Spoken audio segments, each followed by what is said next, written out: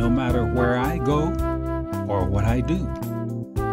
Through storms and rain, even the deepest of pains, He's directing my path, carefully guiding me with His eye, teaching me to laugh when life says cry, showing me there's no way His love can be earned, or for my sin I could ever pay. There's one thing I've learned He's been the lover of my soul. Jesus is the lover of my soul. Of my soul.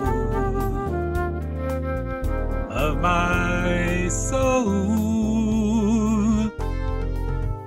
All the world needs to know why he came. Father said, Go, remove sin's guilt and shame. I'm wondering if this you know. Tell me if you've heard. The greatest story ever written is in His Word.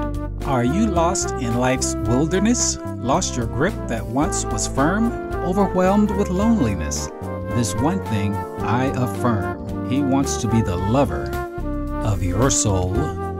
Jesus is the lover of your soul.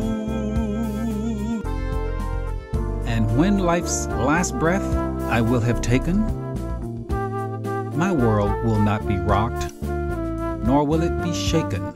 I'll encounter his angels, dispatched as my escort, from the grip of earth's cares to heaven's inner court. There before him my knees I'll bow that day, but he'll lift me, hug me, and joyfully say, Now I'll be forever the lover of your soul. Jesus is the lover of my soul. Of my soul.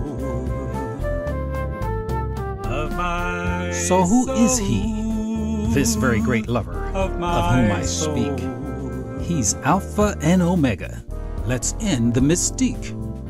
He is Jesus Christ, first Son of God, Ancient of Days, Rose of Sharon, bright morning star, creation's highest praise.